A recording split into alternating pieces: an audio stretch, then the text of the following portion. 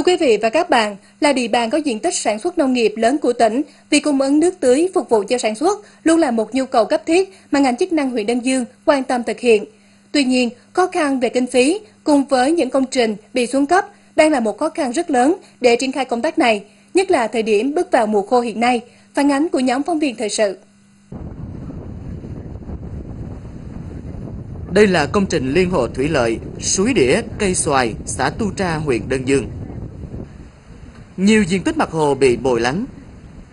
Diện tích nước tưới được thiết kế ban đầu là 60 hecta cây công nghiệp, hoa màu của bà con nông dân trong khu vực.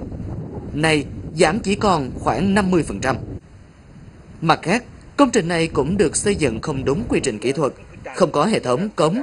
Mùa mưa thì gây nguy hiểm cho vùng hạ lưu, mùa nắng thì hạ lưu không có nước để sử dụng.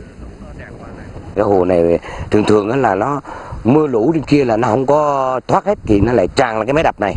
Nắng bảo vệ được cái máy đập này. À, rồi còn cái mùa nắng ấy, thì à, nó lại thiếu nước cho cái hồ dưới này.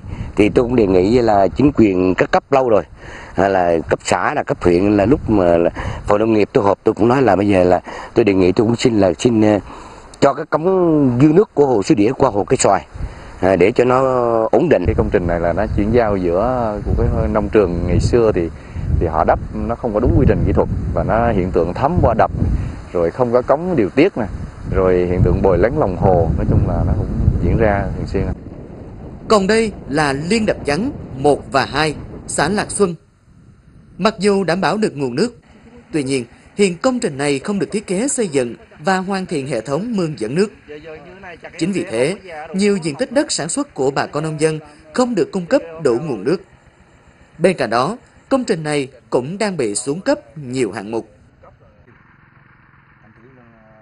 Thực trạng công trình bây giờ thì chỉ có mùa mưa thì mới có nước, đến mùa khô thì là gần như là cạn luôn.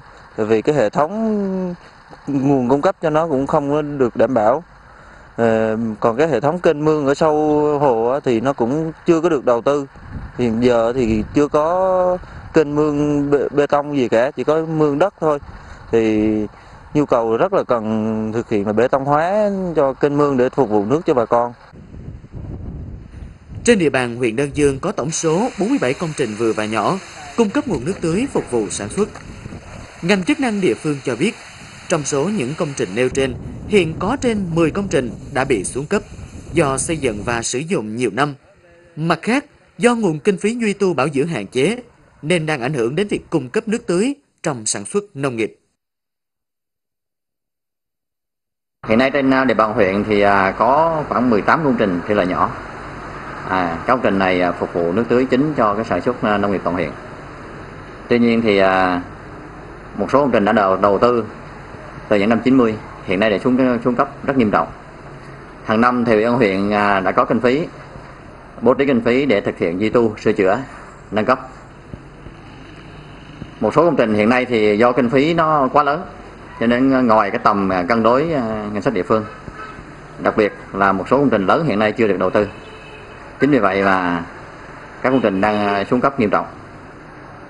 À, cũng chính vì đó cũng kính đề nghị à, sở nông nghiệp phát triển nông thôn ủy ban nhân tỉnh và các ngành tạo điều kiện quan tâm bố trí kinh phí để cho huyện có thể sửa chữa nâng cấp và đưa các công trình này vào sử dụng trong thời gian trong thời gian tới. Đặc biệt à, trong giai đoạn mà huyện Đan Dương đang à, triển khai chương trình nông nghiệp công nghệ cao thì cái nhu cầu dùng nước là hết sức cần thiết. Hiện Đơn Dương nói riêng và tỉnh Lâm Đồng nói chung đang bước vào mùa khô. Việc đảm bảo nguồn nước phục vụ sản xuất là một nhiệm vụ hết sức quan trọng. Điều này cũng đồng nghĩa việc nâng cấp cải tạo các công trình thủy lợi là một nhu cầu hết sức cần thiết nhằm đảm bảo sản xuất cho địa phương. Hy vọng rằng thực trạng của các công trình thủy lợi bị xuống cấp sẽ được các chính quyền địa phương và các ngành chức năng của tỉnh quan tâm đầu tư kịp thời.